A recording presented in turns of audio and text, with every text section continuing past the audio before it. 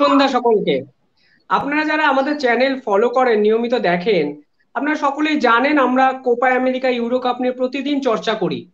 এবং এটাও বাস্তব যে আজ ইউরো কাপে অত্যন্ত গুরুত্বপূর্ণ দুটি খেলা আছে, স্পেন, ফ্রান্স এবং পর্তুগাল।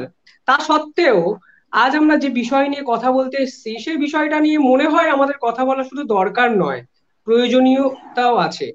পি কে ব্যানার্জি শুধু তো একটা নাম নয়, ভারতীয় ফুটবলে বা বিশ্ব ফুটবলে তো শুধু একটা নাম নয়, একটা অধ্যায়। আপনারা এই প্রোগ্রামটি শেষ করার পর আরেকটি ভিডিও এই চ্যানেলে পাবেন, যেখানে আমরা কলকাতার বিভিন্ন জায়গায় ঘুরে আর জানার চেষ্টা করেছিলাম পি কে ব্যানার্জি সম্পর্কে কি জানেন মানুষ।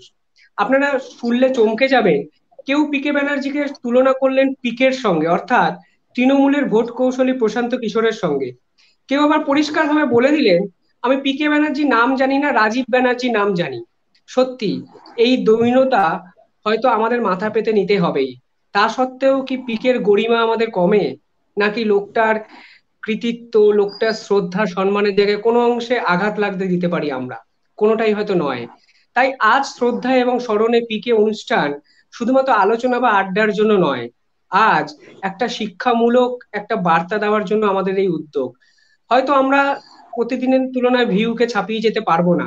কিন্তু বিশ্বাস করুন, মাঝে মধ্যে এক একটা অনুষ্ঠান ভিউয়ের জন্য নয়, হৃদয়ের অন্তঃস্থল থেকে করি আমরা। তার জন্য আপনারা দেখতে পাচ্ছেন আজকে আমাদের সঙ্গে যে দুজন মানুষ উপস্থিত আছেন, তারা পিকে ব্যানার্জিকে খুব কাছ থেকে দেখেছেন। ময়দানের বা কলকাতা ভারতীয় ফুটবলের অন্যতম দুজন চরিত্র, ব্যক্তিত্ব বলা আমার মনে হয় ভালো।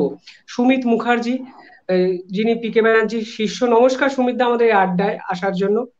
এবং এবং আরেকজন যিনি আছেন তিনি ক্রিয়া সাংবাদিকতার অন্যতম প্রধান একটি নাম বাংলার ক্রিয়া সাংবাদিকতার মুনাল চট্টোপাধ্যায়। মুনাল দা তোমাকে ওই আড্ডায় স্বাগত। হ্যাঁ নমস্কার এবং সকলকে ধন্যবাদ যে আমাকে এরকম একটা অনুষ্ঠানে ডাকার জন্য শিবমকে।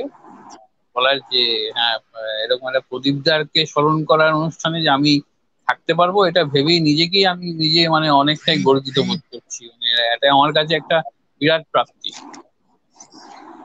আপনারা বিশ্বাস করুন, আমরা অনেককে ভেবেছিলাম এই আড্ডায় ডাকবো, এই অনুষ্ঠানে অনুষ্ঠানে অনুষ্ঠানে আমাদের সঙ্গে থাকার জন্য।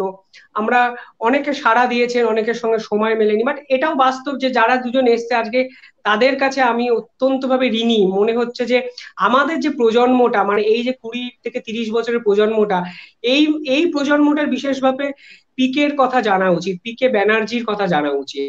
আমি প্রথমে সুমিত দাকে, সুমিত দার কাছে আমি জানব যে পিকে ব্যানার্জি শুধু তো একটা নাম নয় পিকে ব্যানার্জি একটা ইতিহাস। পিকে আপনার কাছে কি? পিকে ব্যানার্জি আপনার কাছে কি, দাদা? দেখো আজকে প্রথম এই পিকে ব্যানার্জির জন্মদিনে আমাকে তোমাদের কাছে ইন্টারভিউ করতে হচ্ছে। আজকে এই সময় লাস্ট দশ বছর মনে হয়, দশ বছর হবে যে আমরা এই সময় প্রদীপদার বাড়িতে আমরা, আমি স্পেশালি উনি ওনার জন্য একটা সুন্দর জন্মদিনে অনুষ্ঠান আমি করতাম। সে, উনি গান ভালোবাসতেন, উনি আবৃত্তি ভালোবাসতেন, উনি লোক সমাগম ভালোবাসতেন, ছাত্রদের কাছে থাকাটা ভালোবাসতেন। তাই আমি যত পারতাম ডেকে টেকে নিয়ে একটা সুন্দর অনুষ্ঠান করে ওনার সাথে কাটাতে। তা আজকে উনি চলে গেছেন। আমার খুব মনটাও খারাপ লাগছে যে আজকের দিনটা আমার খুব খারাপও লাগছে। কিছুক্ষণ আগে কিছুক্ষণ আগে আমার তমার সাথে কথা হয়েছে। তমা জানতো তমা মানে প্রদীপদার সাথে যে মেয়েটা থাকতো তমা জানতো যে আজকের এই অনুষ্ঠানে অন্তত এই আজকের দিনে অন্তত পাঁচ ছবার তোমার ফোন আমার কাছে আসতো যে কে কে আসছে কি বৃত্তান্ত পলাও অর্গানাইজ করতো। পলা খাবার দাবারটা খুব সুন্দরভাবে অর্গানাইজ করতো। আমি সমস্ত বড় বড় মিউজিশিয়ান গান সবাই পিকে ব্যানার্জির জন্মদিনে পিকে ব্যানার্জির বাড়িতে সেলিব্রেট করতে মোনালদা জানে, যে বলবে সেই উন্মুক্ত হয়ে আসে। তাই আমার কাছে পিকে ব্যানার্জি যা হয়, দশ পনেরো বছর একসাথে থেকেছি, একসাথে ঘর করেছি লাস্ট জীবনের দশ বারো বছর, পনেরো, বারো বছর হবে। আমার কাছে একটা ফাদার ফিগার একদম কমপ্লিটলি বলছি, ইনি আমার বাবার মতনই বলতে পারেন। এবং উনি আমাকে লাস্টের দিকে আর সুমিত বলে ডাকতেন না। আমাকে বলতেন, ছেলে এসছে? ছেলে কোথায়? আমাকে ছেলে বলেই ডাকতেন। আর আমি খুব ধন্য, এটা আমি নিজের ভিতরের কথা বলতে পারি যে ওনার মতো লোকের ওনার মতো চরিত্রের সাথে এরকম একটা বর্ণময়, একটা একটা সুন্দর লোকের সাথে আমি যে নিজে খুব গভীরভাবে, খুব ক্লোজলি বারো বছর কাটাতে পেরেছি, হয়তো ভগবানের বিরাট কিছু আশীর্বাদ ছিল বলেই আমি ওনার সাথে কাটাতে পেরেছি। রাইট আপনি, আপনার কথাবার্তাতে বোঝা যাচ্ছে যে ব্যক্তিগত সম্পর্কটা এখানে আপনাদের সবচেয়ে বেশি ছিল। আমি একটা মুনালদার কাছে যাব। মুনালদা, তোমারও তো একটা ব্যক্তিগত একটা সম্পর্ক গড়ে উঠেছিল পরবর্তীকালে। আমি নিজেও স্পোর্টস জার্নালিস্ট ক্লাবের যে সম্মান তোমরা দিয়েছিলে পিকে ব্যানার্জিকে থেকে শুরু করে। বাট তুমি ক্রিয়া সাংবাদিক হিসাবে পিকে ব্যানার্জিকে ঠিক কীভাবে দেখেছিলে? কতটা পেয়েছিলে কাছে? আমি একটা কথা প্রথমেই বলে রাখি, যেটা সুমিত যেটা বলল আগেই, সেটা হচ্ছে আসল কথাটা, যেটা হচ্ছে যে জন্মদিনের পালন উৎসবের অনেক আগে থেকে আর কি, যেগুলো জন্মদিন উৎসবে পালনে প্রদীপদার বাড়ি যাব প্রদীপদার সঙ্গে কথা হতো নানা কারণে, অন্য হয়তো কোনো লেখা নিতে গেলাম প্রদীপদার কাছে, প্রদীপদা কিন্তু প্রতি বছর ভুল, কোনো সময় ভুল বলেননি বলতে যে, জন্মদিনে আসিস বাবা। আর ওইভাবে কথা বলতেন, তুই বাবা আসিস কিন্তু। তারপরে আমাদের হ্যাঁ আপনি তো আসব, এই পায়েসটা তো খেতে হবে। এবং এই যে প্রত্যেক বছরে ওই একটা জন্মদিন উৎসব পালন হতো এবং পায়েস খাওয়াটা একটা নিয়মিত একটা আমাদের একটা মানে ওটা একটা উপাচারে দাঁড়িয়ে গিয়েছিল যে প্রদীপদা থাকবেন এবং পায়েস খাওয়া হবে না, এটা হতে পারে না। আমরা যাব, ওইখানে বাচ্চা বাচ্চা ছেলেগুলো সরলেগের অলঙ্কার বাড়ির উল্টো দিকের মাঠে ওই ছেলেগুলো খেলাধুলো করতো, ওরা আসবে, ওদেরকে ওই পলা একটা বিশাল কেক কাটা হবে, ওই কেকটা টুকরো টুকরো করে একটা ছোট ছোট প্লেটে একটু করে পায়েস আর ওই একটা করে কেক প্রত্যেকটা বাচ্চা খাবে এবং আমরা তার সঙ্গে ওই একই ভাবে প্রসাদ পাবো। এটা হচ্ছে মানে এইটা জন্মদিনের যে অংশটা যেটা সুমিত বলছিল, এটা আমরা সবসময় দেখেছি। কখনো প্রসূন ব্যানার্জি, কখনো সুমিত, কখনো গৌতম সরকার, কখনো কোনো মন্ত্রী বা তারা সবসময় এসেছেন। তো এইসা, একটা অনুষ্ঠানের একটা গ্রুপ নিত, তারপরে প্রদীপদার সব প্রিয় খাবার দাবার দুপুরবেলা, সেটা প্রদীপদাকে সাজিয়ে দেওয়া হতো। প্রদীপদা খুব ভালো মাংস, কচি পাঁঠার মাংস খেতে ভালোবাসতেন, চিংড়ি মাছ খেতে ভালোবাসতেন। তো এইগুলো হবেই, এই প্রিয় রান্নাগুলো হবে। প্রদীপদা যখন অসুস্থ, তখনও কিন্তু এই উপাচারটা বন্ধ হয়নি। এগুলো কিন্তু সাজিয়ে দেওয়া হতো। তিনি মুখে এক টুকরো দিন আর নাই দিন, সেটা হয়েই থাকতো। কিন্তু প্রদীপদাকে আমি যেভাবে যেভাবে প্রথম কথা দুটো দুটো বিষয় করে বলি, সেটা হচ্ছে সুমিত্রা যেমন প্রদীপদাকে গুরু হিসেবেই পেয়েছে, সামনে থেকে কোচ হিসেবে পেয়েছে চোখের সামনে দেখেছে, তার ভোকাল টনিক শুনেছে সবকিছু শুনেছে।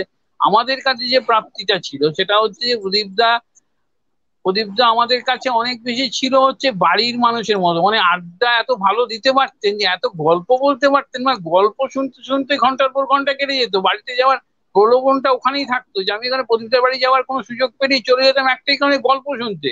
এবং বহু সময় গেছি, কোনো অকেশন ছাড়াই গেছি। এমনি বসে গেছি, হয়তো কোনো লেখা নিতে গেছি কোনো একটা বড় অকেশন ইউরো কাপ বা বিশ্বকাপের সময় হোক, একটা লেখা নিতে গেছি, আপনি লেখা দিন, বা একটা বড় ডার্বি ম্যাচ হবে ইস্টবেঙ্গল মোহনবাগান ম্যাচ হবে ইস্টবেঙ্গল কীভাবে খেললে ইস্টবেঙ্গলে হয়ে আপনি যদি খেলতেন, তাহলে আপনি কোচ এলে আপনি কীভাবে আটকাতেন? বা মোহনবাগানের যদি কোচ থাকতেন, তাহলে ইস্টবেঙ্গল কীভাবে আটকে এইসব টিক্স আমরা, নিয়ে তো আমরা কাগজে ছাপতাম, এগুলো তো ছিল।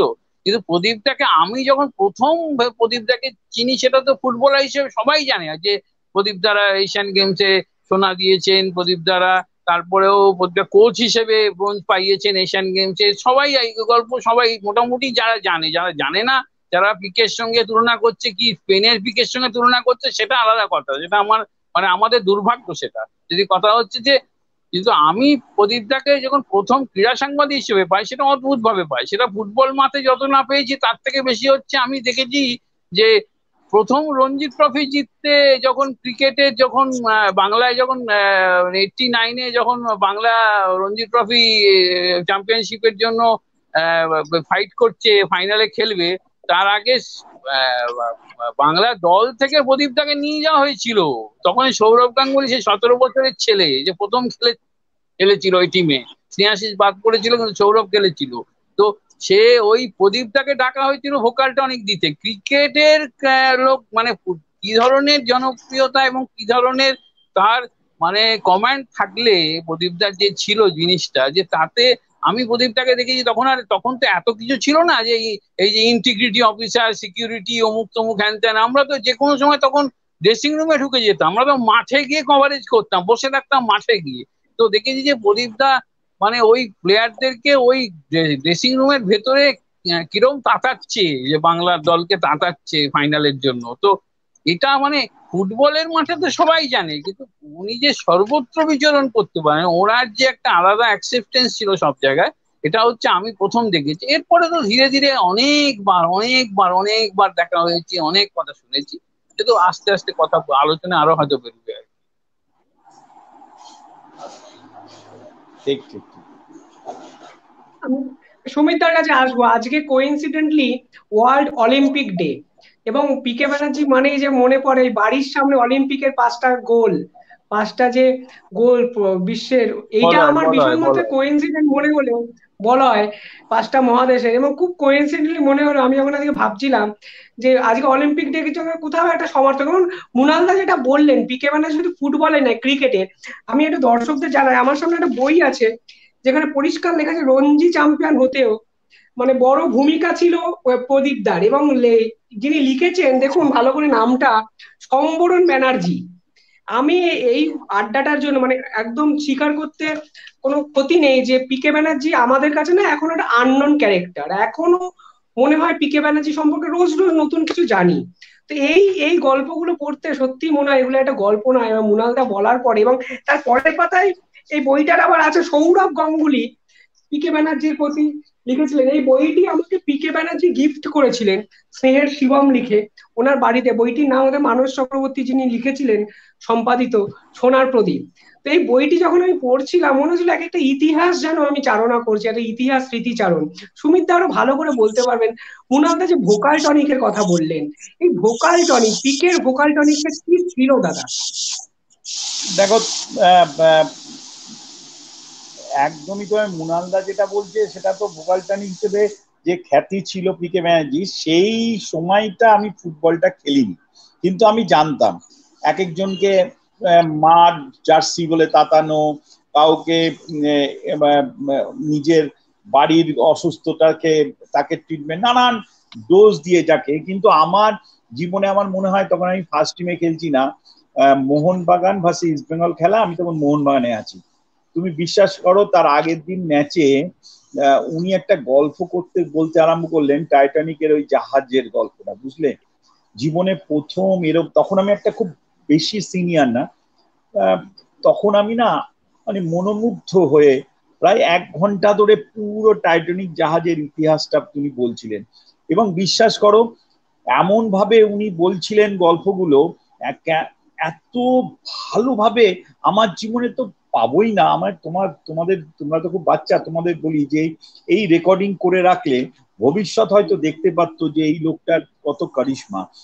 তাই উনি এটা বলতে বলতে যখন ওই যে ক্যাপ্টেন সবাইকে উনি জাহাজ থেকে সরিয়ে দিতে চাইছিল, নিজে আর ওই শিকলের মধ্যে বেঁধে নিয়ে প্র্যাকটিক্যালি তখন মোহনবাণী যে ক্যাপ্টেন ছিল, তাকে আলটিমেটলি উদ্বুদ্ধ করতে আমি নামটা আর বলব না এমন ভাবে তিনি করেছিলেন ওই ম্যাচটা আমার মনে আছে ইস্টবেঙ্গলের সাথে ম্যাচ ছিল। আমরা যখন ওই গল্প শেষ করে সমস্ত টেন্ট থেকে যখন বেরোচ্ছিলাম, মনে হচ্ছে যেন এখনই ম্যাচটা আরম্ভ হয়ে গেল। মানে এরকম লেভেলের একটা ভোকাল টনিক ভোকাল টনিক মানে একটা আলাদা ফিলিংস তৈরি হতো। আর একবার আমার জীবনে মনে আছে, উনি মানুষের না ভিতরটা বুঝতে চাইতেন। যে এই মানুষটাকে কোন জায়গাটায় তাতালে তাকে তাতবে। শুধু একটা গদবাদা ওই নিয়ম আছে যে এটা তোমার মা, মার রক্ত কেউ নিয়ে নিচ্ছে, এইসব। এইগুলো তো বলতেন উনি একটা সময়, কিন্তু শুধু এইটাই বলতেন না। উনি নানান রকম গল্প করে, নানান রকম মানুষের সাথে মিশে এক একটা প্লেয়ারের ভিতরের কোন জায়গায় তাতালে সে উদ্বুদ্ধ বেশি হবে, এটার জন্য তোমার হোমওয়ার্ক করা থাকতো। যেমন আমার মনে আছে যে প্রথম নাইনটি সিক্সে তোমার ইস্ট বেঙ্গলে আমি ক্যাপ্টেন ছিলাম। মুনালদারা তখন রিপোর্টিং করে। ওই আমরা তোমার ফেডারেশন কাপ চ্যাম্পিয়ন হয়েছিলাম। আর যে জেসিটি যখন বেস্ট টিম ছিল জেসিটি তোমার এই চ্যাম্পিয়ন হয়েছে আই লিগ তখন আই লিগ ছিল। এই তোমার ন্যাশনাল লিগ প্রথম ন্যাশনাল লিগ এইবার এই দুটো টিমে নিয়ে একটা সুপার কাপ হতো। এবং ওই আই লিগের মধ্যেখানে পিকে ম্যাজি কোচ হয়ে এসেছিল। তার, আমার সাথে ক্লাবের কিছু কারণে, আর এই ডিটেলসে যাচ্ছি না কারণ অনেক দিন হয়ে গেছে। কিছু কারণে একটা ব্যক্তিগত প্রবলেম হয়েছিল, আমাকে আননেসারি আমার মনে হয়েছে যে আমাকে বসিয়ে রাখা হতো। যাই হোক, এই করতে করতে করতে করতে আমাকে এই কথাটা কেন বলছি, কেন অনেকের মনে থাকবে এই ব্যাপারটা। মনে ভালো লাগবে কথাটা শুনে, যে আমি শুধু ভাবছিলাম মাঝে প্র্যাকটিসে যেতাম যেতাম না, উনি বলছিলেন, দেখো, সুযোগ তোমার আসবে, কিন্তু যখন সুযোগ আসবে, তখন যদি প্র্যাকটিসটা কামাই করে থাকো, নিজেকে ফিট না করে থাকো, তাহলে সুযোগের সৎ ব্যবহার করতে পারবে না। আর সুযোগের সৎ ব্যবহার করতে হলে তোমাকে কিন্তু মাঠে খেলেই সৎ ব্যবহার করতে হবে। তুমি ওই গরম গরম কথা বলে মারপিট করে কিচ্ছু হবে না, কেউ তোমায় পাত্তা দেবে না। তাই স্পেশালি প্র্যাকটিস করতাম। তাই এমন একটা সিচুয়েশন ওই সুপার কাপে কোনো গোলকিপার নেই। বুঝলে? আমি একমাত্র গোলকিপার তাই আমাকে তোমাকে খেলাতেই হবে। হয়তো অন্য কোনো গোলকিপার স্কোপ থাকলে হয়তো আমি খেলতাম কিনা যাই না। তা আমি বলি আমি যাব না। তখন তিনিও এই কথাটা বলেছিলেন। তারপরে গোয়াতে নিয়ে গেছিলেন। গোয়াতে নিয়ে গিয়ে উনি সমস্ত ব্রেকফাস্ট টেবিলে সবাই চলে গেছে খেলার দিন। হঠাৎ উনি আমার পেছনে হাত দিয়ে টেবিলে বসলেন। বসে উনি আমাকে বলতে লাগলেন, সুমিত কুমার, আমাকে সুমিত কুমার বলতেন। সুমিত কুমার, এত দুঃখ কেন? কি বেদনা? কেন তুমি এত রেগে থাকো সবসময়? বলে, তুমি বিশ্বাস করো, আস্তে আস্তে আস্তে আস্তে ভিতরের সমস্ত দুঃখ, বেদনা, সব কথা উনি শুনলেন। আমি কেঁদেই ফেলেছিলাম প্রায়। ওনার ওনার কিন্তু, উনি কিন্তু তাতাচ্ছেন একটা সুন্দরভাবে। তারপরে আমাকে বললেন, দেখো এ তো শুনলাম, আমারও খুব খারাপ লাগছে, তোমার প্রতি এই অবিচার হয়েছে, কিন্তু আজকে তোমার সুযোগ আছে। তোমাকে আমি দুটো কথা বলি, আমার যদি কিছু ক্ষমতা থাকে, কি সুন্দরভাবে বলছে, আমাকে যদি ভগবান কিছু দিয়ে থাকে, আজকে আমি তোমাকে সেই ভরটা দিচ্ছি। তোমাকে আজকে ভালো খেলতে হবে, দুটো কারণে ভালো খেলতে হবে। একটা হচ্ছে, তোমাকে নিজেকে প্রমাণ করতে হবে যে তুমি যোগ্য ছিল, ভগবান কিন্তু এই সুযোগটা তোমায় দিয়েছে। আরেকটা হচ্ছে, এই আমি যে টিমের কোচ হয়েছি, কোন টিমের কখনো হয়নি যে আমি কোনো ট্রফি পাইনি। তাই আমি আই লিগের ন্যাশনাল লিগের কোচ ছিলাম, আমি ট্রফি পেলাম না থার্ড হলাম। আর একটাই সুযোগ আছে সুপার কাপ এই সুপার কাপের যদি ট্রফিটা না পাই, তাহলে আমার একটা কলঙ্ক থেকে যাবে যে আমি বড় টিমে থেকে কোনো ট্রফি পাইনি। তাই তোমাকে আজকে গুরুকেও একটা জিনিস দিতে হবে, আর তোমার নিজের টুকাদি করতে হবে। আমি তোমাকে আশীর্বাদ করি যেন তুমি ভালো খেলো। বিশ্বাস করো এমন ভাবে এই কথাটা প্লেস করেছিলেন। আমার তারপর থেকে না আমার সব রাগ পাগ ওগুলো সরিয়ে দিয়ে কনসেন্ট্রেট করেছিলাম ম্যাচে খেলতে যাওয়ার আগে উনি না হাতের ভিতরে তাবিজ থাকতেন, একটু মাথায় ছুঁয়ে দিয়েছিলেন। যেন বাবা তার ছেলেকে আশীর্বাদ করছেন এরম ভাবে।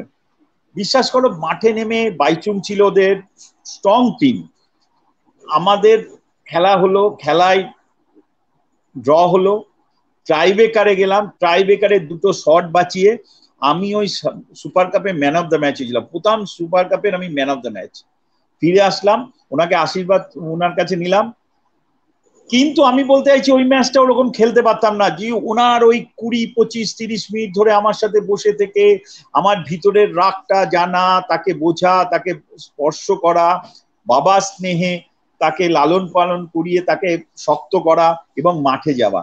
আমার মনে হয় কোনো কোচ কোনো কোচ এরম ভাবে একজনকে ভোকাল টনিক মানে ভোকাল টনিকের একদম অ্যাপ্রোপ্রিয়েট কথাটা যে কীরকম হতে পারে আমার নিজের অভিজ্ঞতা থেকে আমি পেয়েছি। এবং ওই খেলার পর বাড়িতে এসছি, শেষ হয়নি। ম্যান অফ দ্য ম্যাচ হলাম, বাড়িতে এসছি বাবলুদা মোনালদা জানে, বাবলুদা যে এআইএফএফ এর বাবলুদা, আমার বাড়িতে এসে একটা চিঠি দিল। চিঠিতে লেখা আছে প্রিয়ন দাস মুন্সি, যে তোমাকে ডাইরেক্টলি সিলেকশন করা হয়েছে ইন্ডিয়া টিমে তুমি এই অবস্থায় ডাইরেক্টলি তোমার টিকিট বোম্বে হয়ে কালিকট চলে যাও নেহরু কাপে তুমি ভাবো, একটা ম্যাচ আমার জীবনে কতখানি এগিয়ে দিয়েছিল। এবং তার জন্য যদি কাউর কিছুমাত্র মানে হেল্প থাকে, এবং এক এবং অদ্বিতীয় পিকে ব্যানার্জি আমার একদম। দশ পনেরো বছর ধরে ওনার সাথে থাকা ওনার সাথে গল্প করা ওনার সাথে এমন দিন গেছে মোনাল্লা যেদিন হয়তো এমন একটা লোককে উনি ভালো বলছেন আমি পাশে বসে আছি। উনি বলা উনি ছেলে লোকটা চলে যাওয়ার পর আমি ওনাকে জিজ্ঞেস করলাম যে এই লোকটা তো খুব একটা ভালো না। আপনি ওকে এত ভালো ভালো ভালো ভালো বললেন?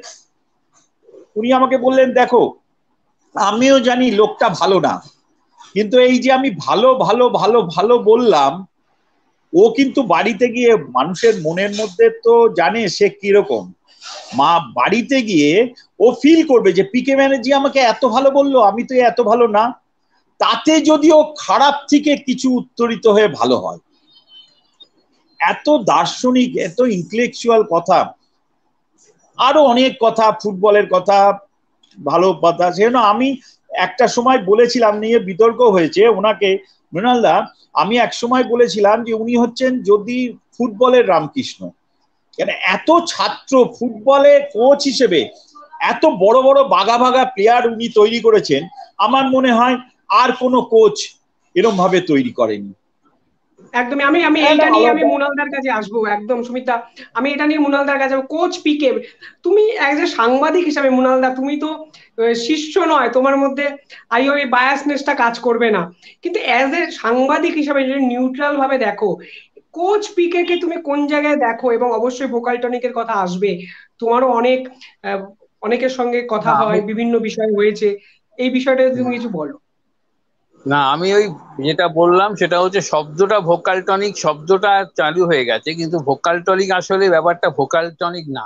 আসলে এটা ছিল হচ্ছে যেটা সুমিত বলল যে যে একজনের মানুষের ভেতরের যে ভেতরের যে তার দক্ষতা, তার আবেগ, তার সেটাকে বের করে আনার জন্য যা যা করা দরকার থাকতো, সেটাকে উনি সুন্দর করে ওটাকে ব্যবহার করতেন। সেটা হচ্ছে, এটা ওই যে আমি বললাম যে একটা আড্ডা প্রিয় রসবোধ সবকিছুর মধ্যে এগুলো চলতো। আজকে একটা বড় ম্যাচ খেলতে গেলে সবাই জানে যে বড় ম্যাচ খেলতে গেলে তার আগে একটা ফুটবলারকে সবসময় তাকে সম্পূর্ণ প্রেশারলেস রাখা দরকার, চাপমুক্ত রাখতে হয়।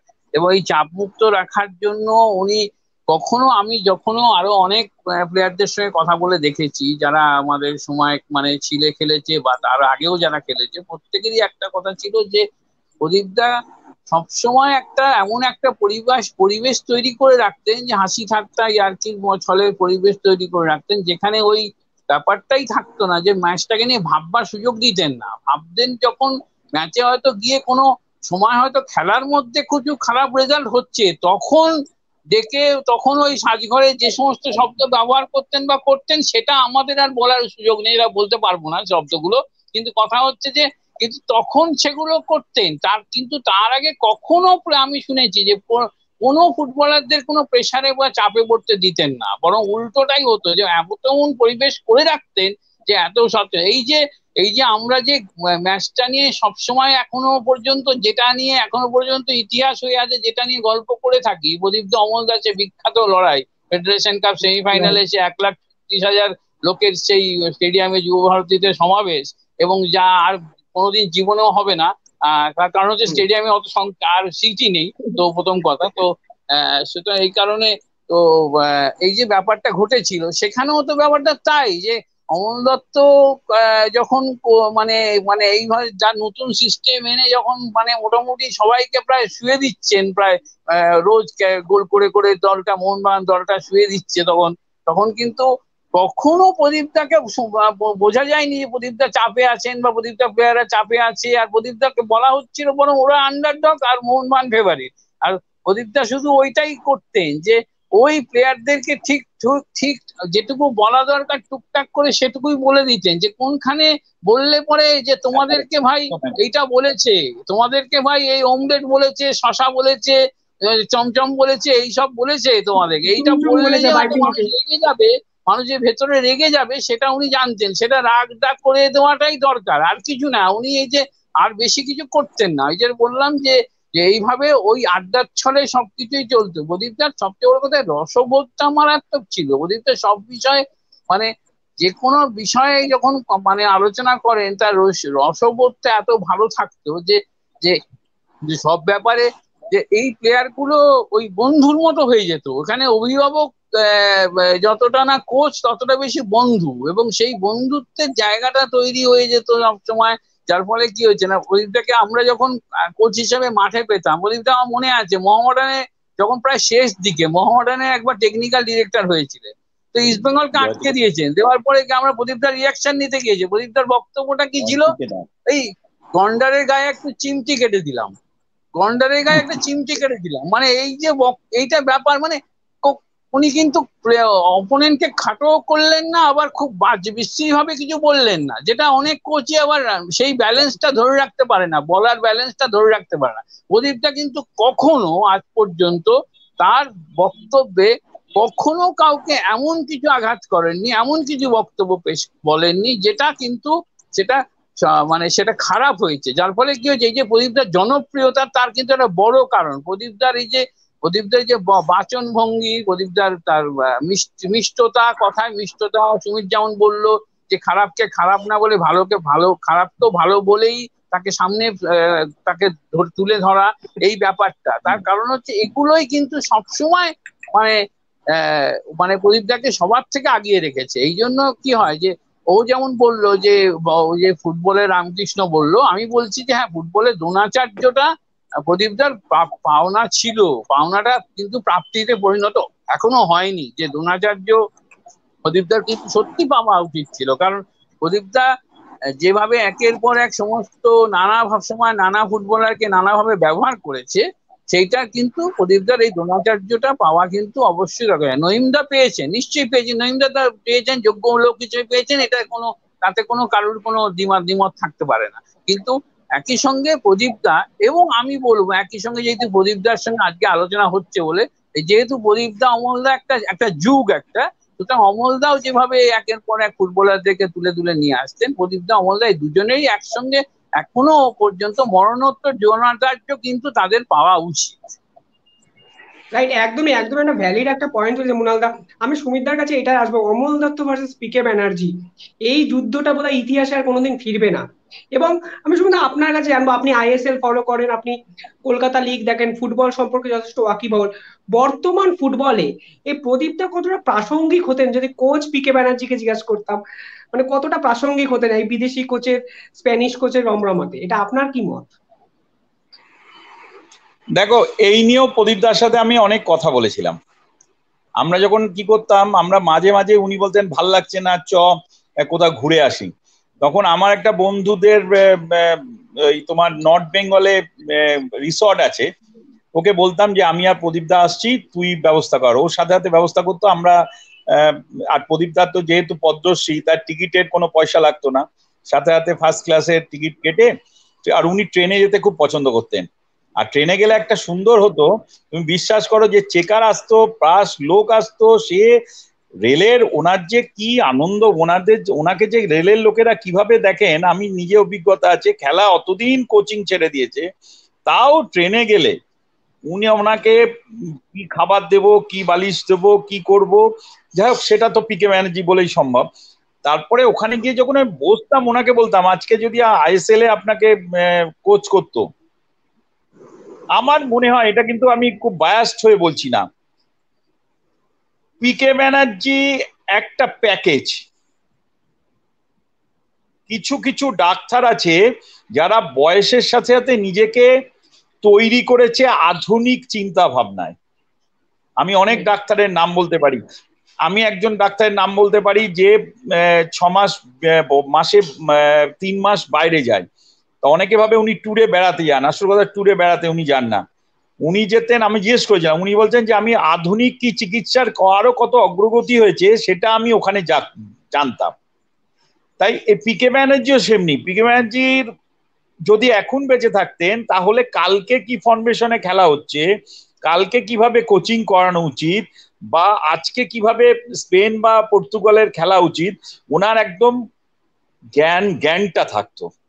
আমরা কি করি? আমরা তো যা কিছু মানে অ্যাডভাইস দিই বা যা কিছু বলি, সেই নাইনটি সিক্সে কি খেলেছিলাম তার চিন্তা ভাবনা থেকে তৈরি করে বলি। কিন্তু এখনকার দিনে ওই ফরমেশনে খেলাও হয় না। অনেকেই আমরা বলি না যে এখনকার, আগেকার দিনের অ্যাভারেজ গড় ছিল সেভেন সিক্স থার্টি থেকে সেভেন কিলোমিটার পার ম্যাচ এখন সেখানে সাড়ে নয়, দশ ইন্ডিয়া টিমই খেলছে। এত স্পিডে যেখানে খেলা, সেখানে কীভাবে ফরমেশন তৈরি হবে, কতগুলো স্কিল প্লেয়ার না হবে কীভাবে কি ফরমেশনে খেতে একদম আমি তোমাকে মানে একদম বলেই দিতে পারি পিকে ব্যানার্জি যদি আজকে বেঁচে থাকতেন এবং পূর্ণ ক্ষমতায় কোচ থাকতেন, তাহলে আর বিদেশি কোচ কোনো একটা টিম আর বিদেশি কোচকে আনতো না। এটা আমি তোমায় গ্যারান্টি দিয়ে বলতে পারি। অমল দত্তর ক্ষেত্রেও আমি বলতে পারি পিকে ব্যানার্জি আর অমল দত্তের পার্থক্য হচ্ছে পিকে ব্যানার্জি কোনো জায়গায় পরিবেশটাকে একটু আপগ্রেডেড পরিবেশ তৈরি করে নিতে পারতেন, না হলে রেগে যেতেন। আর মানে খুব নিখুঁত হতে যাচ্ছে। আর অমল দত্ত, মনে করো আমাদের গোল কিছু ফরমেশন নেই, যার উপর প্র্যাকটিস করতে হবে। অমল দত্ত প্র্যাকটিসে বলতো, কি আছে? কালকে টায়ার কয়েকটা টায়ার নিয়ে আসবি সাইকেলের টায়ার বলে পনেরো কুড়িটা টায়ার নিয়ে এসে টায়ার রেখে দিতেন ওর উপর জাম করিয়ে দিতেন। হয়তো পিকে ম্যাজি হলে ওইটা করতেন না। ও হয়তো সুন্দর একটা কিছু ফুটবলের বক্স বা কিছু তার উপর দিয়ে করতেন। কিছু কিছু সময় না আমি একটু মোনালদার সামনে আজকে মোনালদা অনেক আজ মোনালদার একটা প্লাস পয়েন্ট হচ্ছে মোনালদা যখন লেখে এটি ইতিহাসের ছাত্র তো ঐতিহাসিক সাবজেক্ট নিয়ে না খুব সুন্দর ভাবে ব্যাখ্যা করে। অর্থনীতির ছাত্র আমি অর্থনীতির ছাত্র। তুমি অনেক লেখা অনেক লেখা তোমার দিকেছি ইতিহাস যেমন তুমি বাহারিন বা ইতিহাস কিন্তু তোমার ইতিহাস ঐতিহাসিক অনেক লেখার মধ্যে তোমার লেখার মধ্যে আমি পাই। আগে যেমন আগেও তোমাকে এ ব্যাপারে বলেছিলাম।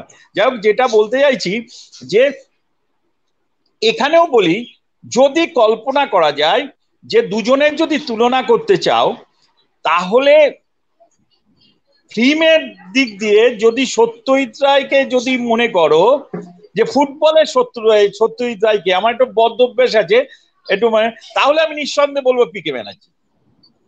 আর যদি বলো ফুটবলের ঋত্বিক ঘটককে, তাহলে নিঃসন্দেহে আমি বলব অমল দত্ত। তাই ফুটবলের সত্যজিৎ রায় এবং ফুটবলের ঋত্বিক ঘটক হচ্ছে পিকে ব্যানার্জি আর অমল দত্ত। এটা বললে আমার মনে হয় মুনালদা মুনালদা আমি আমি আমি তোমার কাছে এটা থেকেই আসব। এই যে সত্যজিৎ রায় ঋত্বিক ঘটক বা মৃণাল সেন তুমি একদম দুটো মানুষকে দুটো পর্বকে দুটো অধ্যায়কে দেখেছ। সাংবাদিকতা শুরুর আগেও তো তুমি কলকাতা ময়দানটাকে দেখেছ ফলে এটা বাস্তবে দুটো মানুষকে তুমি দেখেছ। তোমার মতে এই দুটো মানুষের পার্থক্যটা এই অধ্যায়ের পার্থক্যটা কি ছিল?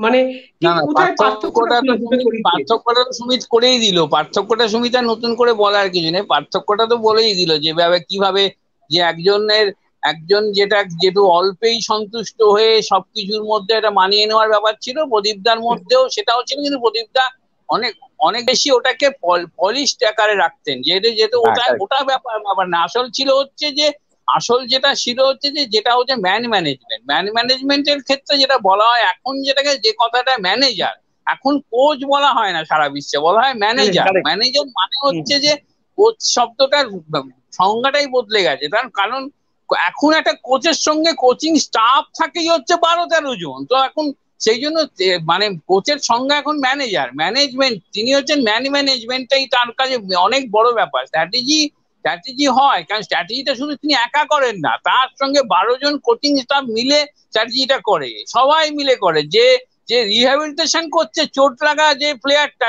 সেও কিন্তু তার ওই কোচিং এর স্ট্র্যাটেজির অঙ্গ যে সে কিন্তু ফিডব্যাকটা দেবে যে কখন তিনি তখন এই প্লেয়ারটাকে সে ফেরত পাবে সেই অনুযায়ী সে ব্যবহার করবে।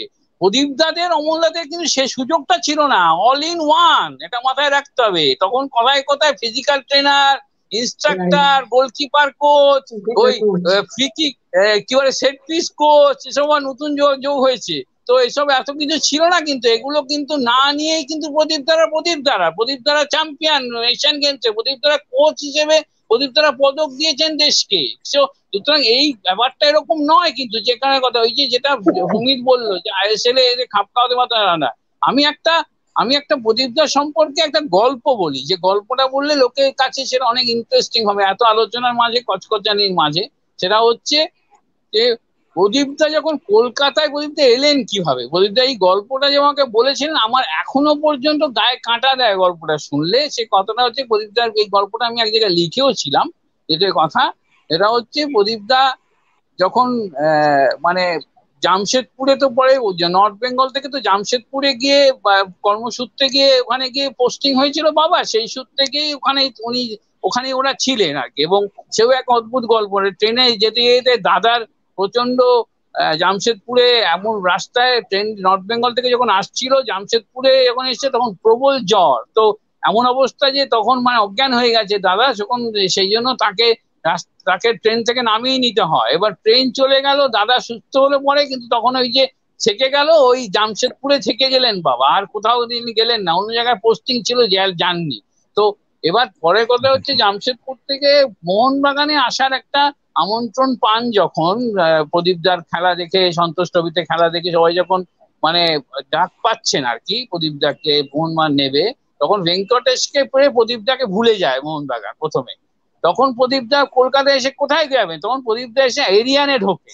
এরিয়ানে খেলতে যখন যান, তখন এরিয়ানে এসে এবার যখন খেলা শুরু করে বাচ্চা ছেলে, সতেরো আঠারো সতেরো বছরের বাচ্চা ছেলে, তো মানে তাকে তার খেলা দেখে সবাই মুগ্ধ হচ্ছে, কিন্তু এমন ডিফেন্ডাররা পারে মারতো যে প্রদীপদা বলছেন যে আমার দুটো পা একবারে এমন হয়ে গেছিল যে আমি পা এমন হয়েছিল যে তারপরে আমি আর পা নামাতে পারছিলাম না। তখন আমার, আমি একটা, আমি যেখানে থাকতাম একটা মেসে, সেখানে যে আমার সেই মেসেতে একজন, একটা ঘোড়ার গাড়ি চালাতো একটা ছেলে, লোক সামনে কোচওয়ান সে রোজ বসে থাকতো। সে আমাকে বলেছিল বাবু, আমি আপনাকে একটা টোটকা বলব, আপনি নেবেন? বলেছিল যে, কি বাবা? বলেছিল যে, আপনাকে একটা মাংস এনে দেবো। মানে গরুর মাংস এনে দেবো, সেটা আপনাকে ওই চোটের জায়গায় লাগিয়ে বসে থাকতে হবে। তাহলে কিন্তু আপনার ওই চোটটা সেরে যাবে। কিন্তু, এবং প্রদীপদা বামুনের ছেলে, কিন্তু প্রদীপদা বলেছিল, খেলার জন্য সবকিছু করতে রাজি আছি। আমি কিন্তু হ্যাঁ ঠিক আছে, আমি তাই লাগাবো। তুই আমাকে এনে দে। ও লাগিয়েছিলেন, বলছেন, আমি লাগিয়ে বসে আছি এবং টিকটিকিতে এসে সেই মাংস কুড়ে কুড়ে খাচ্ছে এবং আমার চোখ দিয়ে টস টস করে জল পড়ছে যে আমি ওরকম ভাবে বসে আছি, আমি খেলতে পারছি না। আলটিমেট আলটিমেটলি চোট ছাড়ছিল না। চোট ছাড়ছিল না, প্রদীপ দেবা সিদ্ধান্ত নিয়ে না, আর আমার কলকাতায় খেলা হবে না, আমি বাড়ি ফিরে যাব। বলে রাত্রিবেলা নাগপুরে একটা এক্সপ্রেস ছাড়তো। সেটা ধরার জন্য প্রদীপদা হাওড়া স্টেশনে এবং সেই কোচওয়ান যে এনে দিয়েছিল, সে বলছে যে ও তাকেও প্রদীপদাকে তুই তো করি কথা বলতো। বলতো তুই বেটা এই পালিয়ে যাচ্ছিস এবার ছেড়ে চলে যাবি? এখানে কলকাতা ছেড়ে চলে যাবি? খেলবি না? তো বলছে বলে আমি আর পারব না। দাদা আমি আর পারব না আমি চলেই যাচ্ছি। তো তো বলেছে যে আমি যখন ও ওকে তুলে ওকে নিয়ে গিয়ে হাওড়া স্টেশনে নামিয়ে দিয়েছে। বলে বলে এটাই হচ্ছে ভবিতব্য একেই বলে যে ট্রেনটা ছাড়তে হঠাৎ করে দেখা যাচ্ছে ট্রেনটা দু ঘণ্টা লেট ট্রেনটা যাবে না, এখন দেরি আছে। বলছে, আমি যখন বসে আছি, আমার কাছে একটা পয়সা নেই। আমার কাছে শুধু ওই দু টাকা, বাবা, একটা পয়সা দিয়ে দু টাকা দিয়ে টিনের সুটকেস কিনে দিয়েছিল, সেই সুটকেসটা সঙ্গে নিয়ে আমি স্টেশনে বসে আছি। এই সময় প্রদীপদাকে চিনত, প্রদীপদার বাবাকে চিনতেন একজন টিকিট কালেক্টর গৌতম বলে। তিনি হঠাৎ দেখতে পেয়েছেন কোনে ওই হাওড়া স্টেশনে কোনে ওখানে ও প্রদীপ ব্যানার্জি বসে আছে পিকে ব্যানার্জি। বলছে, এই, তুই এখানে কি করছিস? বলছে, না, আমি বাড়ি চলে যাচ্ছি। তুই বাড়ি চলে যাচ্ছিস? তোর যে খেলা, খেলতে পাঠালো তোর বাবা তোকে? তুই বললি, কথা বলে এলি যে খেলব বলে এখানে? তো বলছে যে যে না, আমি আমি আর পারব না। বলছে, পারবি না? তাহলে তুই তো বাবার নাম ডুবাবি তুই তো বাবাকে এখানে এডিটাতে করলি কি তাহলে? বাবার নাম ডুবিয়ে দিবি। তো বলছে বলছে, না কাকু, আমি ওদের আর পারব না। তো বলছে, আমি তোকে বলছি, তুই কথা শোন, দু ঘণ্টা দেরি আছে, চল, তুই আমাকে, তুই আমার সঙ্গে চল, এখন আপাতত রেস্ট রুমে চল, আমাদের রেস্ট রুমে ওখানে বস, তারপরে ভালো করে ভাব, তারপরে যাবি। তো বলল যে, আমি গৌতমদার কথা, গৌতম কাকুর কথায় আমি গেলাম, গিয়ে আমি, ও আমাকে ক্যান্টিনে নিয়ে গেল। একটা চিকেন স্টু আর রুটি খেতে দিল, আমি খেলাম। খেয়ে আমার কি মনে হলো? যা, মনে হলো যে আমি আমি আমি আমি একবার লড়েই দেখি। বলে লড়ে দেখি বলে ওই যে আমি বলল যে, গৌতম বলে, যা, তুই একবার বাড়িতে, তুই একবার মেসে ফিরে যা। আবার ভালো করে ভাব। তারপরে কালকে আসবি। যদি ভালো করে মনে হয় যে তোর চলে আসাই দরকার, তাহলে তুই চলে আসবি, তোকে আর আটকাবো না। বলে আমি আবার দেখি বাইরে বেরিয়েছি, দেখি সেই কোচওয়ান ঘোড়ার গাড়ি নিয়ে বসে আছে। বলে বলে যে, কি তুমি যাওনি? বলছে, না, আমি তো তোকে আবার ফেরত নিয়ে যাওয়ার জন্য বসে আছি এখনও। তো বলছে, আমি জানতাম তুই ফেরত আসবি। বলে আমি ফিরত গেলাম। এবং ফিরত গেলাম এবং তারপরে আমি আমার সঙ্গে মানে ওই মানে আমি যখন তারপরে মাঠে আবার ফিরছি, চেষ্টা করছি ফিরছি, তখন আমার সঙ্গে একজনের দেখা। তার ভদ্রলোকের নাম হচ্ছে তেজেশ চন্দ্র সোম, যাকে আমরা বাগাসম বলে চিনি। বলল যে, দেখা হলো, বলল, এই, তুই আমার টিমে খেলবি? রেলে হয়ে খেলবি? বলল যে, বলল, আমি তো হাতে চাঁদ পেলাম। রেলে হয়ে খেলব না, অবশ্যই খেলব।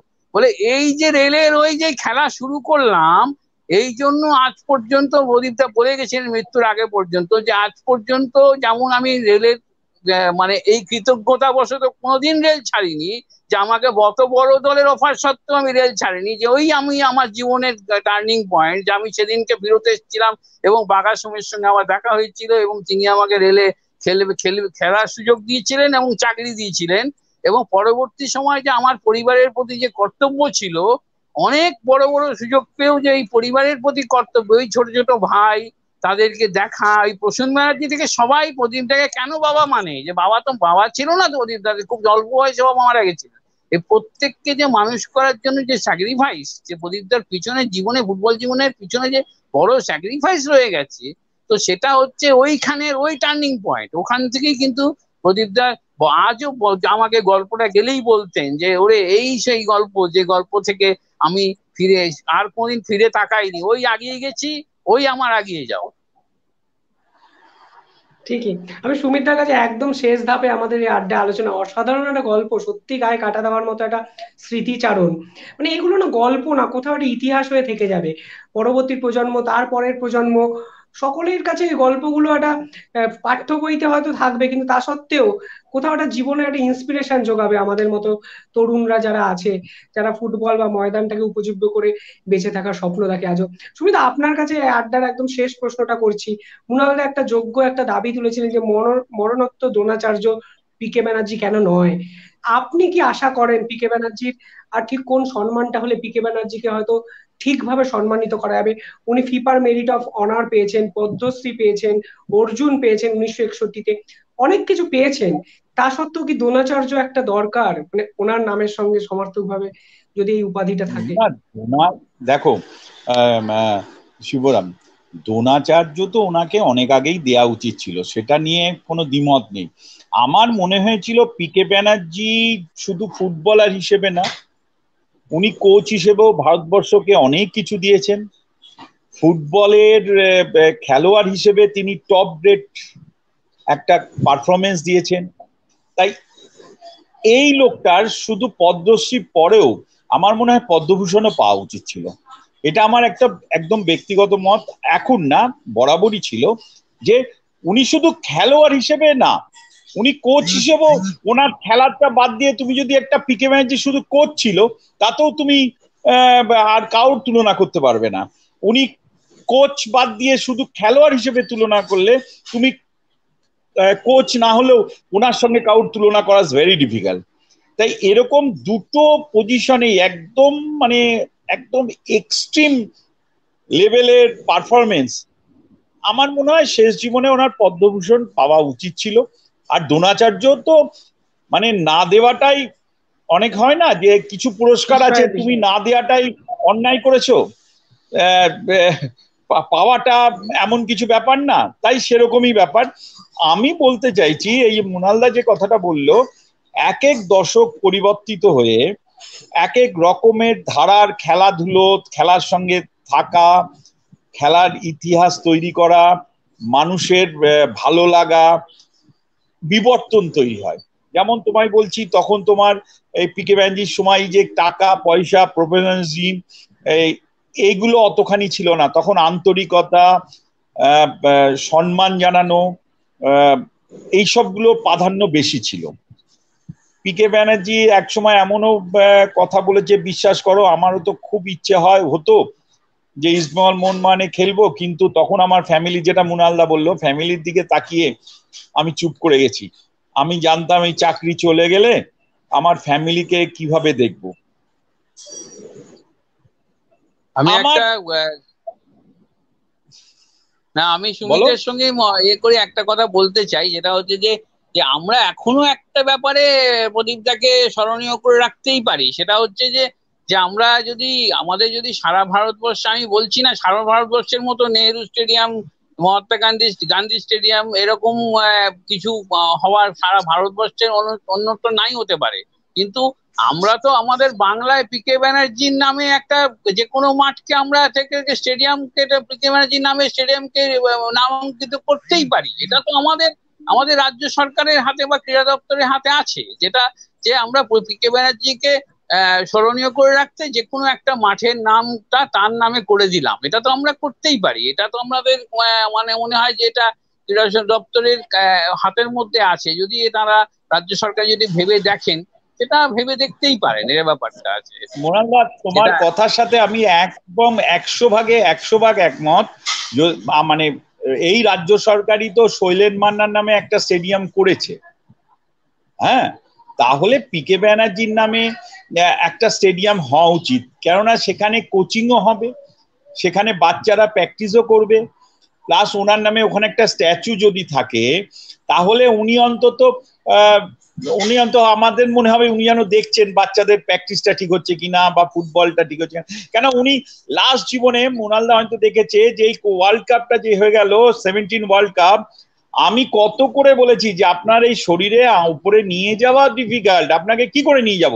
বলে, না না, তুই আমাকে নিয়ে চ। ওই মাঠে গিয়ে, ওই খুঁড়িয়ে খুঁড়িয়ে উঠে মাঠে খেলা দেখা ঠিক আছে মোনালদা ঠিকই বলেছ। ওনার নামে একটা স্টেডিয়াম হওয়া উচিত। আর সল্টলেক স্টেডিয়ামের পাশে কিছু ব্যক্তিত্ব, কিছু বড় স্পোর্টস ফ্যাটার্নিটি যারা হকি ফুটবল ক্রিকেট যারা মানে খুব অবদান আছে, তাদের নামে যেমন বিদেশে দেখেছি, অনেক স্টেডিয়ামের তুমিও দেখেছ, সেখানে ওদের মূর্তি পরপর রাখা আছে। আমার মনে হয় চুনি গোস্বামী পি কে ব্যানার্জি শৈলেন মান্না তারপরে তোমার লেসলি ক্লেডিয়াস যারা যারা ওয়েস্ট বেঙ্গল থেকে বেরিয়ে এত বড় একটা সম্মান পেয়েছেন, তাদের কিছু কিছু হাফ বয়েল মূর্তি অন্তত স্টেডিয়ামের মেড গেটের সামনে থাকা উচিত। কেননা ভবিষ্যৎ প্রজন্মকে আজকে শিবম যেটা কথাটা বলছে যে অনেকে পিকে ব্যানার্জির নামে বলতে গিয়ে অনেকে বলছে চিনি না, তাহলে আর এই প্রবলেমটা আর হবে না যে পিকে ব্যানার্জি কে ছিলেন পিকে ব্যানার্জি এই ছিলেন যে যার জন্য স্টেডিয়ামে ঢুকে ঢোকার আগে ওনার একটা মূর্তি হয়। তাই আমার মনে হয় এগুলো হয়তো ভবিষ্যতে রাষ্ট্র, রাজ্য সরকার চিন্তা ভাবনা করবে সল্লেক স্টেডিয়ামেই করা যায়। সল্লেক স্টেডিয়ামের পুরো মেন গেটের সামনে অন্তত সাত আটটা তো মূর্তি হাফ বয়েল মূর্তি, যে হাফ হাফ ওয়ে মানে বুক সমান যে মূর্তিগুলো করাই যায়। এগুলো দিয়েই হয়তো সম্মান করবে। আমার মনে হয় রাজ্য সরকার ডুমুরজলা স্টেডিয়ামকে যখন শৈলেন মান্না স্টেডিয়াম করেছে সত্যজিৎ রায়ের নামে একটা ফুটবল স্টেডিয়াম হয়েছে স্পোর্টস স্টেডিয়াম। আমার মনে হয় যাদবপুর স্টেডিয়ামটা ফাঁকা আছে। সল্টলেক স্টেডিয়ামের নাম তো বিবেকানন্দ স্টেডিয়াম হয়েই গেছে। আমার মনে হয় যাদবপুর স্টেডিয়ামটার নাম পিকে ব্যানজি স্টেডিয়াম বা আরেকটা স্টেডিয়ামে চুনি গোস্বামী স্টেডিয়াম, এটা তো করাই যেতে পারে। তবু আমি আরেকটা কথা এর পরিশেষে বলি, তোমরা বিশ্বাস করো লাস্ট দশ পনেরো বছর ওনার সাথে থাকাতে থাকা মানে কি? এভরি ডে চারটের পরেই ওনার বাড়িতে চলে যেতাম, আলাদা কফি চা করতেন, দুজনে বসে খেতাম। নিউ টাউনে ওনাকে নিয়ে যেতাম, নিয়ে গিয়ে হাঁটতে হাঁটতে, হাঁটা, হাঁটানোর চেষ্টা করতাম যাতে উনি ফিট থাকেন। অনেক কথা বলতেন, যেগুলো আর সমাজের সামনে বলা উচিত না। তবে উনি ওনার শরীর সমস্ত কিছু ঘিরে ছিল ফুটবল উনি খুব গর্বিত হতেন। কোনো বাঙালি ফুটবলার বাঙালি ইন্ডিয়ান প্লেয়াররা খুব ভালো কিছু পারফরমেন্স করলে। বিশ্বাস করো, উনি না খুব গর্বিত হতেন। আর ওনার জীবনে আরেকটা দুঃখ থেকে গেছিল এইটটি টুতে এশিয়ান গেমসে আমরা কোনো মেডেল পাইনি। এটা ওনার জীবনে খুব কুড়ে কুড়ে লাস্ট জীবন পর্যন্ত যখনই বলতেন যে, বলে, বুঝলি তো, আমার খুব ইচ্ছে ছিল যে, আমি তো এশিয়ান গেমসে গোল্ড পেয়েছি, আর আমার কোচিং এ এই একটা ট্রফি ব্রোঞ্জ পাক। একটা মুনালদা, আমরা পিকে ব্যানার্জি সম্বন্ধে বলতে গিয়ে আরেকটা জিনিস, আরেকটা আরেকটা জিনিস হচ্ছে মানুষকে, যেমন একটা একটা এক্সাম্পল দিচ্ছি, ওনাকে বলা যায় কোনো একটা লোক হয়তো পিকে ব্যানার্জিকে একটা ভালো রেস্টুরেন্টে গিয়ে খাওয়াবে। তার অনেক টাকা পয়সা আছে। তা আমি পিকে ব্যানার্জিকে বললাম, চলুন, আপনি আর আমি যাই। একটা ভালো রেস্টুরেন্টে গেলাম খাওয়া দাওয়া হলো, যখন বিলটা দিচ্ছে লোকটার কিন্তু বিলটা দিতে কোনো অসুবিধে নেই। লোকটার কিন্তু মানে খুব প্লিজ যে পিকে ব্যানার্জির সাথে বসে তিনি খাচ্ছেন, খাওয়া দাওয়া করছেন ডিনার করছেন। উনি ওই ম্যানেজারকে হোটেল ম্যানেজারকে ডেকে বলতেন যে, আমি পিকে ব্যানার্জি এসছে, তুমি ডিসকাউন্ট কত করেছ? তা আমি ওনাকে বাইরে যখন একলা থাকতাম বলতাম, আপনার কি দরকার? উনি তো খাবার দাবার বিল দিচ্ছেন। তা আপনার এত, বলল, কি বলছো? পিকে ব্যানার্জি এসছে, আর ডিসকাউন্ট করবে না? ওই লোকটা কেন পুরো টাকা দেবে? মানসিকতা একটা লোকের কত বড় মানুষ মন থাকলে কিরম ধরনের কথা বলা যায়? এই বিষয়ে একটা আরেকটা কথা মানে এসে গেছে। শিবম তোমাদের বলছি তোমার জেনারেশনে খুব মিস করেছ খুবই মিস করেছ। এরকম ধরনের এক একটা লোকের সাথে তোমরা তোমাদের সুযোগ হয়নি আলাপ করার। তোমার একটা বা তোমার থাকা গল্প করা বা ফুটবল কেরিয়ারে ইনাকে কোচ হিসেবে পাওয়া এটা একটা আমাদের আমাদের জীবনের কিছু পাওয়ার মধ্যে একটা বিরাট পাওয়া। হ্যাঁ মুনাল্লাহ বলো এবার। না আমি যেটা বলছিলাম ওই ব্যাপারটার মধ্যেই বলছিলাম যে প্রদীপদা রসবোধের মানে অনেকগুলো দিকের কথা বলছিলাম তখন তো যে প্রদীপ প্রদীপদা এমনি কথা। আমার একটা বিষয়ের প্রদীপদা আমাকে এই গল্পটা প্রদীপদাই করেছিলেন আমার কাছে। আমি ওইটাই কোনো একটা লেখায় লিখেছিলাম। এটা হচ্ছে, প্রদীপদা এইটা যে আমরা যে বাঙালিদের একটা আমাদের একটা ইয়ে থাকে না মানে আমাদের গর্ববোধ থাকে না বাঙালি হিসেবে? এবং বাঙালি পুরুষদের একটা গর্ববোধ থাকে। বলছেন যে এই প্রতি বছরে যখন উত্তম কুমার বেঁচে ছিলেন তখন প্রদীপদাদের ওই উত্তম কুমার মানে দোলের সময় একটা অনুষ্ঠান করতেন। উত্তম কুমার খুব ভালো গান গাইতে পারতেন, সবাই বলে জানেন। উত্তম কুমার নিজে কিন্তু গান গাইতে পারতেন সেটা জন্য এত লিপ সিঙ্গিং যে এত ভালো হতো, ওর সিনেমায় এত হিট হতো লিপ সিঙ্গিং সেটা একটা কারণ ছিল। এবং উত্তম কুমার এই মজলিসটা বসাতেন তার বাড়িতে, ওই ময়রা স্ট্রিটের বাড়িতে বা কখনো অন্য জায়গায় বসাতেন। এবং প্রদীপদা ছিলেন আমন্ত্রিত প্রদীপ যখন প্রথম আমন্ত্রণ পান, সেই গল্পটা মানে অত্যন্ত মজাদার, দারুণ। সেটা হচ্ছে যে প্রদীপদা তো তখন ল্যান্ডলাইন তখন তো এরকম মোবাইল ছিল না এরকম দেখা যেত না। তোর কথা। তো ল্যান্ডলাইনে ফোন করেছেন। বলেছে যে যে হ্যাঁ বলুন প্রদীপ দা আছে প্রদীপ দাদা প্রতিষ্ঠিত লোক কোচ একটা এত বড় এশিয়ান গেমসে গোল্ড মেডেলিস্ট অমুক প্রদীপ দা তো একটা ডিগনিটি আছে। বলেছেন যে হ্যাঁ বলুন, কে বলছেন বলছে, আমি উত্তম কুমার বলছি। বলছে, ওরকম সবাই উত্তম কুমার বলে নিজেদেরকে। বাঙালির ছেলে মেয়েরা ছেলেরা সবাই নিজেদেরকে উত্তম কুমারই ভাবে। আমি ও, আপনি ওসব ছাড়ুন। আপনি ফোনটা রাখুন। বলছে, না না, আমি সত্যি উত্তম কুমার বলছি। বলছে বলছে, ও, তাই?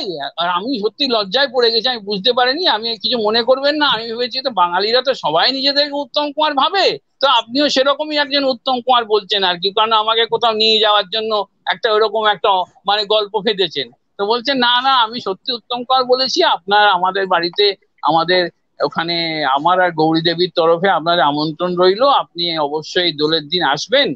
তো সেখানে বলল যে বলল যে আমি ওখানে গেছি এবং সেখানে সৌমিত্র চট্টোপাধ্যায় থেকে অনু করে সবাই সেখানে রয়েছে, বড় বড় সব লোকজন। তো বলে যে কথা, এবার উত্তম গান ধরে, গান ধরেছে, তখন তো এ কথা এবং সেই তারপরে রং খেলা হলো, তারপরে কিন্তু সবই আবির খেলা হলো। মানে ওদের তো ওরকম নয় যে আমাদের গায়ে রং দিয়ে ভূত করে দেবে, তা না আবির খেলা হলো। তারপরে সেই বিশেষ ধরনের সমস্ত ধরনের সব খাবার দাবার, সেই লাড্ডু রাখা রয়েছে রাবড়ি রাখা রয়েছে তারপরে ঘোল রাখা রয়েছে তো তো বলেছে যে এরকম তো আমাকে সব অফার করেছে এবং আমাকে প্রচুর এবং প্রদীপদার যেটা ব্যাপার যে প্রদীপদা বললেন প্রদীপদা মানে আড্ডা প্রদীপদা যেই এবার প্রদীপদা কখন বলতে শুরু করেছে সবাই চুপ করে গেল প্রদীপদা বলছে আমি বলছি বাকিরা শুনছে শুধু আমি বলে যাচ্ছি তখন আর কেউ আর বলছে না কিছু তখন আর যে উত্তম কুমারই হোক আর সৌমিত্র চট্টোপাধ্যায় হোক আমি তখন উত্তম কুমার ওখানে আমি উত্তম কুমার তখন কথা তো বলছে। সেটা হচ্ছে মানে এই যে কুনালদা মুনালদা যেটা বলছে, তোমাকে আরও একটু টাইম নিচ্ছি। একদিন আমরা খড়দায় রঞ্জিত মুখার্জির একটা ফাংশন করে, দুস্থদের দেওয়ার জন্য, বুঝলে তো? তা অনেক আর্টিস্টদের নিয়ে আসে রঞ্জিত দা, তাদের যে টাকা ওঠায়, তাদের দুস্থদের, রঞ্জিত দার এটা একটা ফ্যাশন প্যাশন তা পিকে ম্যাজিকেও ডেকেছে, আমাকে বলল যে, দেখ, ওখানে যাচ্ছি, তুই কি যাবি? আমি রঞ্জিত দাকে খুব ভালোবাসি। তাই আমি বললাম, ঠিক আছে, আমি সমরেশ চৌধুরী পিকে ম্যাজি গেছি। ওখানে সেদিন সৌমিত্র চ্যাটার্জি আর শুভেন্দু এসছিলেন। দুজনে এসছিলেন। তা আসার পর হঠাৎ দিকে আমাকে ফাংশনটি শেষের আগে আমাকে বলছে, শোনো, ওদের কিছু খাওয়া দাওয়ার ইচ্ছে হয়েছে তুমি কিছু ব্যবস্থা করো। তা আমি খর্দায় ওইরম বড় মাপের লোক পিকে ব্যানার্জি বলছে, বলে এটা করতেই হবে, কেননা ওদের আমি বলেছি, আমার ছাত্ররা আছে, কোনো অসুবিধা হবে না। যাই হোক, আমি তারপরে এদিক ওদিক করে ম্যানেজ করে একটা জায়গায় ব্যবস্থা করলাম। হ্যাঁ আমার মনে আছে একটা জায়গায়, সুন্দর জায়গায় ব্যবস্থা করলাম। ওনারা আসলেন, আমি সমরেশ চৌধুরী পি কে ব্যানার্জি, সমিত ব্যানার্জি আর শুভেন্দু বাবু। বসে অনেকক্ষণ গল্প টল্প, ওনারা খুব অভিভূত ওই জায়গাটায়। মানে ওনারা যেসব খেতে চাইছিলেন, যে ক্লাস চাইছিলেন, সব পেলেন। আর আমি পি কে ব্যানার্জির মুখ দেখছি, উনি না খুব খুব উৎফুল্ল, খুব গর্বিত যে দেখো আমার ছাত্র এরকম অর্গানাইজ করেছে। তারপরের ঘটনা যেটা বলতে চাইছি, যে উনি সত্যি যে গুরু কেন, তারপরে যাওয়ার সময় সৌমিত্র বাবু বললেন যে পিকে যাওয়ার সময় গল্প করতে করতে যাব। এটা ব্যারাকপুরে আমি অর্গানাইজ করেছিলাম ব্যাপারটা। ওই ইউবিক হোটেলে, আমার বন্ধুর হোটেল, ওখানে অর্গানাইজ করেছিলাম। আমরা গল্প করতে করতে যাব, তোমাকে সল্টলেকে নামিয়ে দেবো, তুমি চলো। পিকে ব্যানার্জি ওনাকে বললেন, না না না না, তোরা যাও, তোমরা আরাম করে কমফোর্ট যাও। আমি আমার দুই ছাত্র, একটা সিনিয়র ছাত্র, একটা জুনিয়র ছাত্র, এদের সঙ্গে যাই। কোনো অসুবিধে নেই, তোমরা যাও। এবং খুব পোলাইটলি ডিসেন্ট ওয়েতে উনি প্রত্যাখ্যান করলেন। আমি কানে কানে গিয়ে বলতে আরম্ভ করলাম যে, আমার তো তখন একটা মারুতি এইট হান্ড্রেড ছিল। আমি বললাম, আমার মারুতি এইট হান্ড্রেড যাবেন আর ও অত বড় গাড়ি, আপনি যান, আরাম করে যাবেন। কি আছে? আমি আর সমরেশ দানায় চলে যাব। আমার হাতটা না প্রায় ভেঙে ফেলার মতো করে হাতটা টেনে ধরলো। তুমি বিশ্বাস করো তারপরে ওনার চলে যাওয়ার পর আমাকে বলল যে, তুমি আমাকে গর্বিত করলে আজকে। ওদের দেখিয়ে দিলাম যে, আমার ছাত্ররা যে কোনো জিনিস করতে পারে। কিন্তু আমি ছাত্রকে ছেড়ে চলে যাব ওদের সাথে, সেটা আমার জীবনে হবে না। তাই শিবম, এই জিনিসটা আমার এত ভালো লেগেছিল যে, ওই পরিমাপের লোক, ওই লেভেলের লোক, আমরা চাইছিলাম উনি চলে যান। উনি কিন্তু আমাদের ছাড়েননি। আরেকটা সুন্দর কথা শিবম তুমি এই ক্যাপশনে পুজো ব্যানার্জির যে দুটো ছবি দিয়েছ, আমি সারাক্ষণ এই ছবি দেখে এই যে মুচকি হাসিটা, যেটা মুনালদা খুব করেই জানে, এই হাসিটা ওনার সারা জীবন ছিল। তাই জন্মদিনে আমরা যে, আমার যে দুঃখ ছিল যে একটা অনুষ্ঠান করতে পারলাম না গান বাজনা করতে পারলাম না, ওনাকে নিয়ে থাকতে পারলাম না, কিন্তু এই যে স্মৃতিচারণের একটা সুযোগ আমাকে এবং মুনালদাকে তোমরা করিয়ে দিলে সেই জন্য সত্যি তোমাদের ধন্যবাদ জানাই। আমার মনে হচ্ছে যে আমাদের এই কথাগুলো যেখান থেকে হোক, স্বর্গের কোনো সুন্দর জায়গা থেকে উনি শুনছেন এবং যেটা উনি করেন, সবাইকে আশীর্বাদ করেন, সবার ভালো হোক চান, সেটাই উনি করছেন। থ্যাংক ইউ থ্যাংক ইউ ধন্যবাদ, দাদা। অনেক অসংখ্য ধন্যবাদ। রবীন্দ্রনাথ লিখেছিলেন ছোট গল্প যেমন শেষ হয়ে হইল না শেষ। পিকে ব্যানার্জি হয়তো শেষ হয়নি পিকে অধ্যায় হয়তো এখনও শেষ হয়নি। সারা জীবন উনি থাকবেন, ওনার গল্প, ইতিহাস হয়ে বেঁচে থাকবে। এবং শেষ মুহূর্তে আরও একটা কথা বলে অনুষ্ঠানটা শেষ করি। মুনালদা বললেন মরণোত্তর পদ্মভূষণ বা দ্রোণাচার্যের কথা। যে লোকটি ফিফা অব্দি নিয়ে গেছে ভারতীয় ফুটবলকে, যে লোকটি এশিয়ান অলিম্পিকে দাপটের সঙ্গে ভারতীয় ফুটবলকে জলজল করেছেন, তিনি তো ভারতের রত্ন। হয়তো ভারতের রত্নরও সমান দাবিদার হতে পারতেন তিনি। ধন্যবাদ আরও একবার সকলকে। ধন্যবাদ আমাদের সঙ্গে থাকার জন্য। গুড নাইট, পিকে ব্যানার্জি থাকবেন। পিকে কে নিয়ে আমরা বেঁচে থাকব ভারতীয় ফুটবল বাংলার ফুটবল বেঁচে থাকবে। ধন্যবাদ সকলকে আরও একবার। ধন্যবাদ তোমাকে যে অনুষ্ঠান করার জন্য। ধন্যবাদ।